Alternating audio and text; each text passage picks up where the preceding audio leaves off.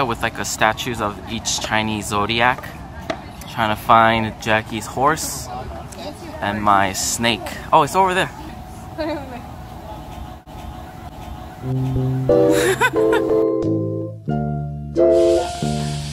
Second day here on our trip to Osaka.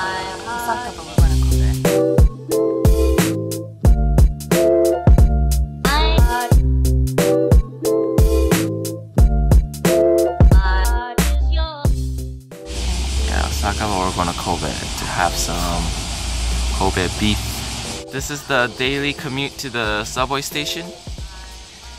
And this is my daily Pokestop. The elephant is my daily Pokestop along the commute to the train. Kobe. And we will be eating here in Steakland. Oh, oh, oh,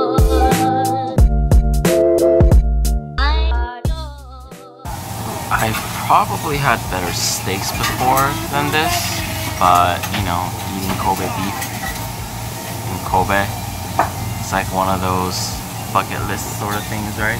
Well, I had Kobe before, but you oh. haven't. But have you had it in Kobe?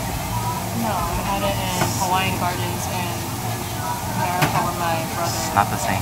made memorable memories. It's not the same.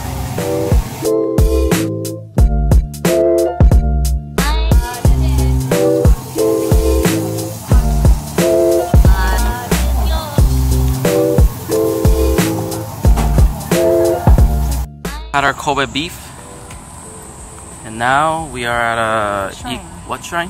Ikuta. Ikuta shrine. Let's check it out. I love hearing your pronunciation. Ikuta.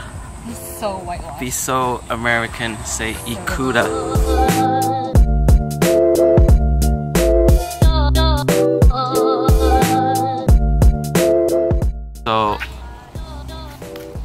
Apparently this shrine was destroyed in an earthquake a while back, and then they restored it. Um, it looks amazing.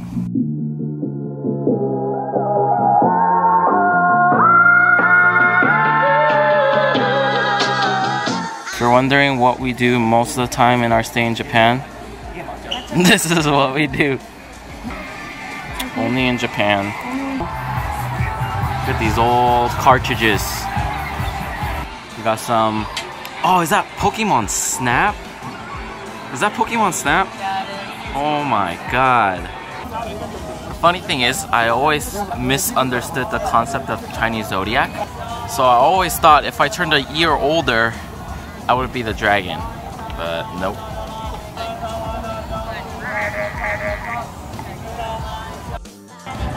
Tony has found a real life Pidgey. Come, Pidgey. oh my gosh. You wanna you wanna high five with the bull? What the heck is this? We're now at Jackie's favorite place. It's called Kiddy Land because she's a kid. The big kid right here. Yes, Chicky in a kimono, look.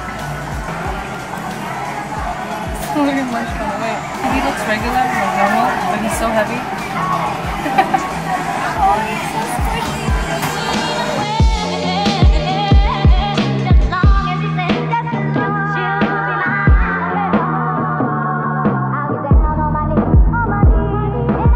Jackie has made a purchase. She cannot resist.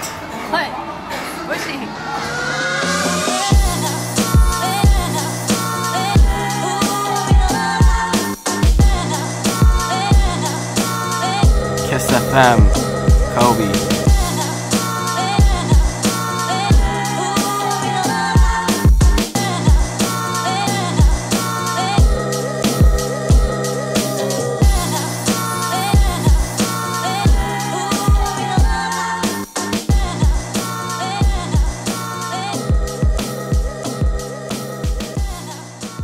My Dragon Ball hair.